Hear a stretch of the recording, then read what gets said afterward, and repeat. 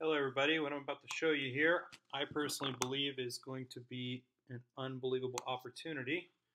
This is a calculator that compares retirement plans. So the way it works, and it's not yet been released, so it's kind of like a preview, but the way it works is you're comparing life insurance to 401ks. So if we take a person that's 45 years old and they're going to save till they're 65, they're in a current tax bracket of 20% working, in the retirement tax bracket, the way it's set up is you can change all these numbers. I'm showing you in a PowerPoint just to give you an idea of what's coming. Uh, we have current plan fees. These are the fees that are charged by the 401k carrier. The average is usually over 2%, so we're being very conservative here. Rate of return 7% on both plans, and let's compare apples to apples. So you'll notice right here, if a client is putting in 12500 into a 401k, of course it's pre-tax. So in comparison, if they're in a 20% tax bracket, they would be putting in 10,000 after tax. This gives you a breakdown of the annual fees. You're going to notice it says included in here because the actual fees of cost of insurance and everything else has been built into the calculation. Gross retirement income, so when they retire, how much money they're going to need to net 41,000 in relation to life insurance, it's the true net 41,000. The cumulative taxes being deferred in the first year because we're looking at a 45 year old, so this is very first year. Taxes paid, next column, cumulative fees paid, and you're going to notice out the gate that there's a lot less fees in a 401k in year one versus life insurance. Account balances, there's a difference there, obviously and the death benefit. So obviously on a death benefit, they get the value of the account, which is going to be roughly um, this right here after tax, whereas there's a death benefit on life insurance from day one. This represents over here the way we break down the comparison. Really the most important number is this one right here. What is the total advantage? So when we factor in the taxes, the fees, the income taking out, and the death benefit, what is the true net of this investment versus the 401k.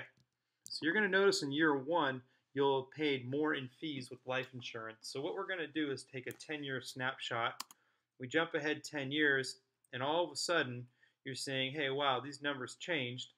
Now we've been paid out already 25,000 in taxes. So we're 25,000 behind, but look at this. All of a sudden, the 401k fees are higher than they are in life insurance. So with life insurance, we've actually saved about $1,500. So we jump ahead another 10 years to 65, and now you're going to notice all of a sudden we've paid more than $51,000 in 401k fees than going with the life insurance.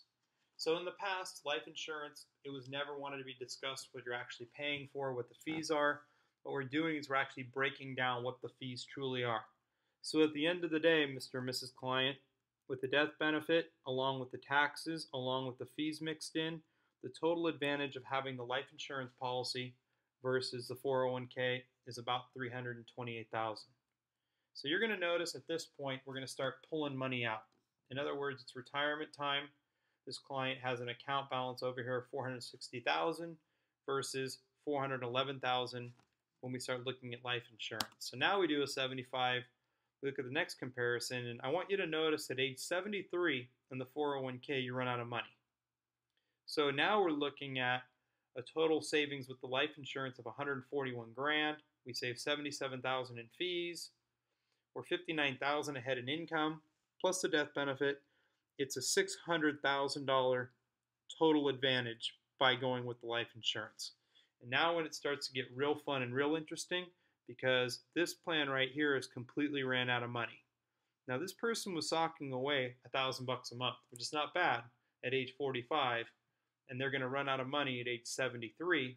And once again, that's assuming a 7% rate of return.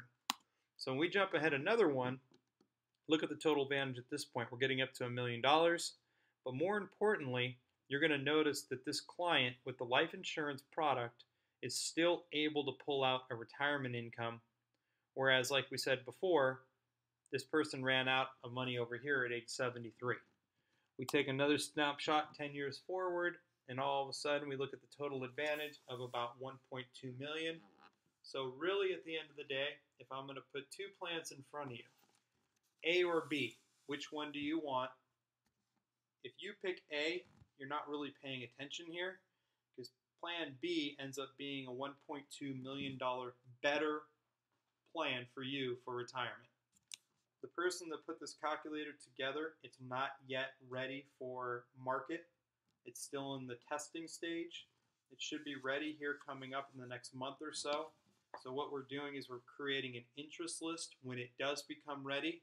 If you want to be on that interest list and contacted when it's ready to go, you can simply go ahead and click on the link provided saying add me to the list. And I'm telling you, the coolest thing about this calculator is it's taking all these 30, 40 page proposals and put them all into one calculator with one tool that you can sit in front of a client and really compare apples to apples and uh, from there close more deals. So I hope you're excited about it as much as I am and I, I look forward to uh, some feedback on this.